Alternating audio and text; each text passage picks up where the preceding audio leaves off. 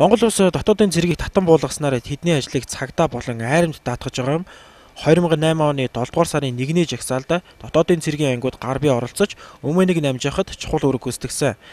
Тэгвэл цаашид өмнө гарсан тохиолдолд дотоодын цэрэг хэв журам сахиулахгүй харин цагдаагийн байгууллага хүчрэхгүй цаашлаад айрам оролцвол нэгдсэн үндэсний байгууллагаас цэргийн хүчээ оруулж иргэний дантай орон гэдэг дүгнэлтийг төрүүлж байна. Энэ нь дотооддоо асуудлаа шийдэж чаддаггүйг харуулах магадaltaй юм.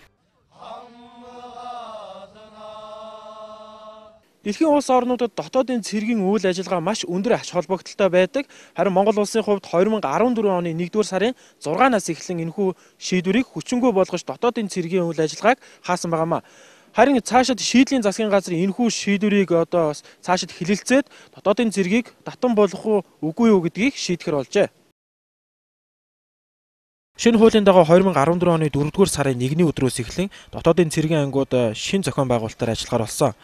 Энэ хүрээнд дотоодын цэргийн 05 805 дугаар ангийг өнгөрсөн 4 дугаар сарын 1-ний өдрөөр тасалбар болгон татан буулгаж Дэд бүтэц барилга байгууламж материал техникийн хангамж зэвсэг хэрэгслийг нь цагдаагийн ерөнхий газрын олон нийтийн аюулгүй байдлыг хангах газарт шилжүүлэхээр шийдвэрлсэн байдаг. Ангууд татан бууцсандаа холбогдуулан цэргийн алба хааж байсан хугацаа цэргийн албан хаагчдыг хил хамгаалах ерөнхий газарт шилжүүлсэн байна. Олон улсын түвшиндээ дотоодын цэрэг нэр хүндтэй өндөр хариуцлагатай алба байдаг.